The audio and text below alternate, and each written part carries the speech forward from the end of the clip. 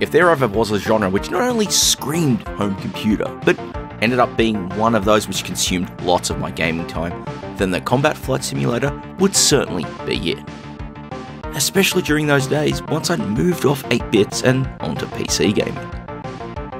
But there's always been that spark of interest for how they fared on the 8 bits because despite the limited power those machines offered, there was still something special about taking to the skies with those earlier efforts. Shocking frame rates and all. As always, though, it's those corners of gaming's past with these early games where I can't help but scratch my curiosity in how these titles fit within the wider history of the genre.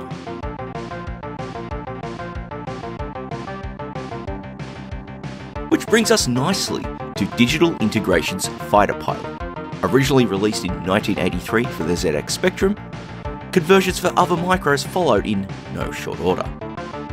The Commodore 64 would receive the first of these a year later, with ones for the Atari 8 bit computer family and Amstrad CPC appearing in 1985.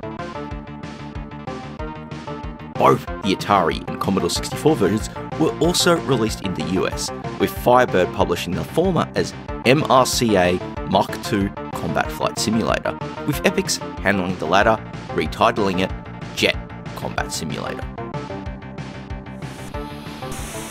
Now this video will focus on the Commodore 64 version, which is the one I just happen to own a copy of, alongside the Spectrum original and Atari versions, as I was able to play both of those on actual hardware as well.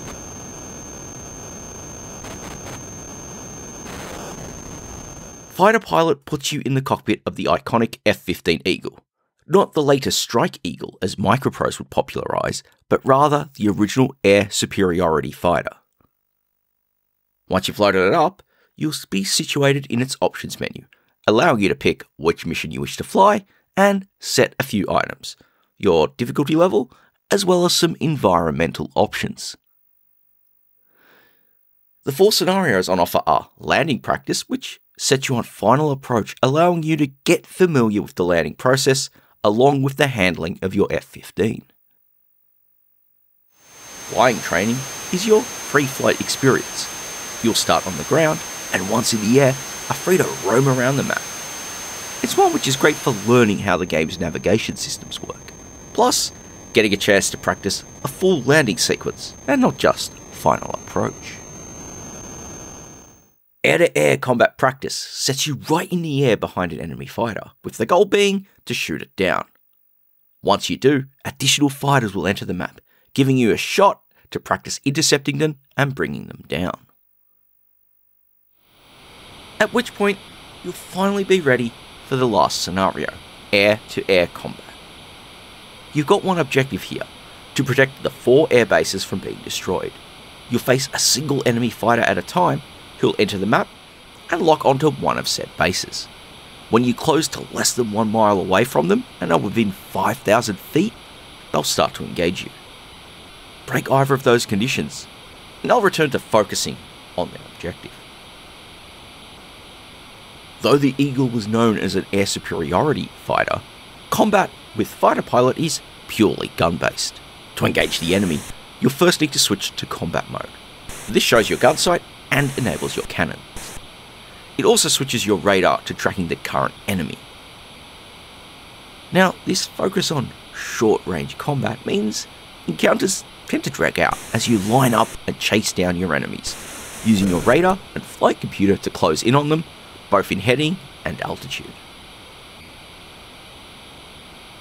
One big difference between the three systems that I'm covering here and how they handle this is really with the visual sighting of your enemy.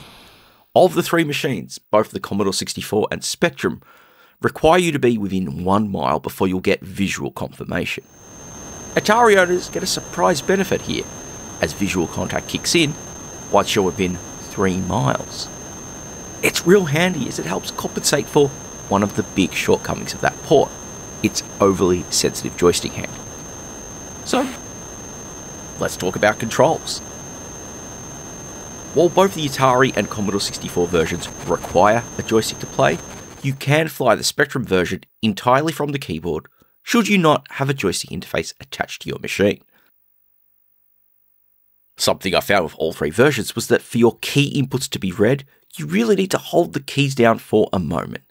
It's one of those things which can be initially unsettling, but you do get used to it, even when it poses a distraction when in the heat of battle. Thankfully, the joystick controls on both the Commodore 64 and Spectrum respond quickly, which helps when making small adjustments when lining up on a target or during final approach. On the Atari version, this wasn't the case at all, as even the shortest tap on the joystick would result in much larger responses. The game tries to adjust for this by applying a limited degree of auto centering, but I still found myself overcompensating on the inputs way too often to make it something to just write off. When it comes to the keyboard controls that you'll need, compared with what you'll find with later simulations, the key controls here are organized rather well, especially based around the groups of functions that you'll deal with. For flying the plane, you've got controls for adjusting your thrust, applying flaps, operating your undercarriage, and applying brakes once you're on the ground. For navigation, you've got an in game map which shows where you are in relation to your enemy target and the airbases. You can also set your navigation target between one of several beacons positioned on the map and toggle your flight computer between showing it and your instrument landing system. When in regular flight mode, the instrument landing system is used for lining up on final approach, whilst the flight computer provides distance to the runway when you're within range. When switching to combat mode, the flight computer provides the altitude for your current target, which you can use to close in as you get within range. For combat controls, you've really only got the option to toggle in and out of combat mode, and of course, fire your plane's guns. These limited options uh, can be really beneficial for new pilots. It means you've got less to learn with understanding the simulation, and honestly, I think it gives them a better chance at success with it compared to some of the more complex games released down the line. One of the things that really impresses me with Fighter Pilot is its flight model. It's really quite impressive for the time, offering a solid sensation of flight, especially when at lower speeds. The impact of how your inputs affect your plane's handling is important to learn, especially with how easy it can be to stall if you're not careful. Now, combat, on the other hand, that's a fair bit more limited. Not just because of the focus on short range gun only combat, but rather the AI.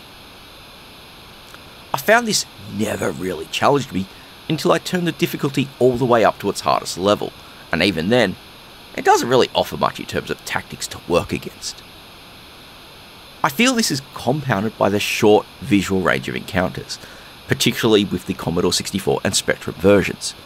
This can lead to having flybys, which can happen so quickly, leaving you open to enemy fire without having a fair chance of evading it.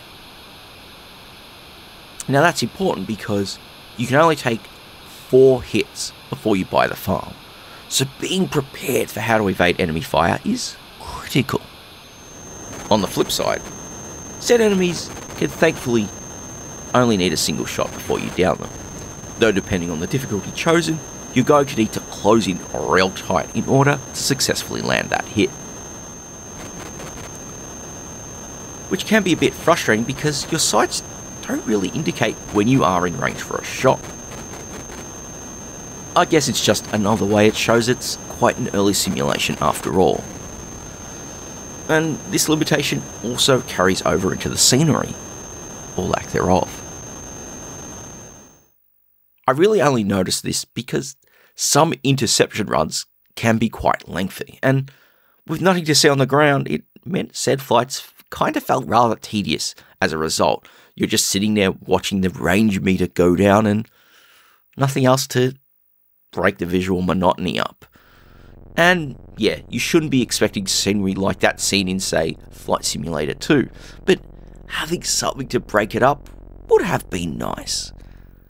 There's also a consequence of this around mountainous regions of the map. You'll see these marked out on your navigation map. alongside a minimum altitude. And should you cross over into those regions below that altitude, boom. You'll end up one with the ground, ending your flight without even a crater to mark the occasion. At least the Atari version gives you some flashing visuals as this happens, while both the Commodore 64 and Spectrum versions just go straight to a you crashed message. And that's just one of those little things which add a bit of personality to a game.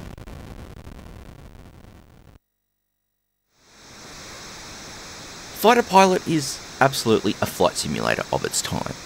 Though it can be easy for less experienced simulation fans to pick up and play, it really doesn't offer much in the sense of a long term challenge. As the only measure of how well you did in a session is in the number of enemy fighters you shot down. Now, this is of course coming at it from the perspective of someone in Space Year 2022. Looking at it from the angle of 1983, and it paints a far more impressive picture, as the original Spectrum version of the game happens to be one of the first combat flight simulators released on the computer. So, compared to what else was out there, it really stood head and shoulders above them at the time. Now, part of this I feel is down to the background of its author, David Marshall, who worked on flight control systems for the UK Ministry of Defence prior to co founding Digital Integration. And if that's not some serious cred, then I don't know what is. As for its release elsewhere, the Commodore 64 version had a similar advantage, as by the time it was released there, the closest thing in terms of air combat games were the ports of those early Microprose flight games like Spitfire Ace, which really didn't offer much more than arcade action. Though by the time it hit the Atari 8 bit computer family in 1985, the standard I feel certainly shifted, as Microprose had delivered F 15 Strike Eagle by that point, which is a game I feel pushed the combat flight simulation landscape forward in quite a few ways, from its mix of air to ground and air to air missions, and its move to wireframe 3D visuals, alongside the historical groundings of its many missions. So, despite Fighter Pilot being a fairly heavily dated game, you can see that it deserves an important place in the pantheon of combat flight simulators. Even if in 2022 it's one that doesn't really offer much beyond historical value. Though, should you wish to give it a play, how do these three versions stack up? Firstly, on a visual front, there's not really much difference between them. I guess a result of the simplistic nature of its world and details. The instrumentation is presented the same on all three, though I'll admit I think I prefer the contrast and colour usage of the Commodore 64 version over the other two. The spectrum is a little more cramped because of the lower resolution, and depending on what kind of spectrum you're playing on, that might make it a little hard to read, whilst the Atari version doesn't pop out as much.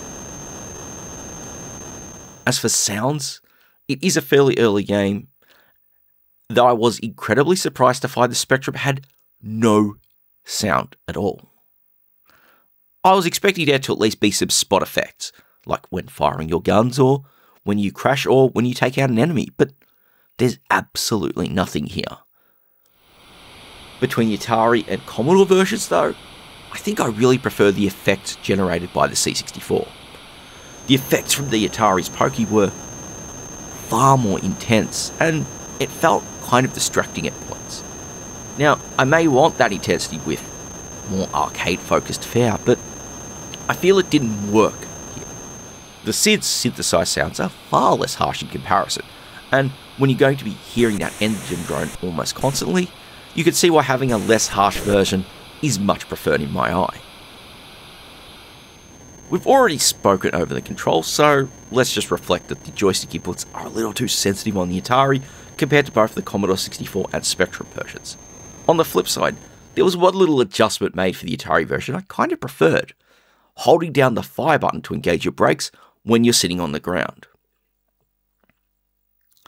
Based on the general keyboard handling, I'd probably avoid the Spectrum version unless you've got a dedicated joystick interface attached.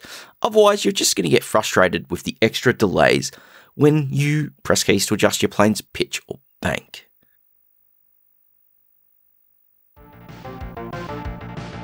And with that, I guess there's really not much more for me to do than to wrap this one up. Fighter Pilot is an interesting simulation, but one which is dated very heavily. Again, if you want to check it out, it's probably best to do so for the curiosity value rather than get yourself seriously hooked into it. So, really, there's not much more for me to say than to thank you all very much for watching.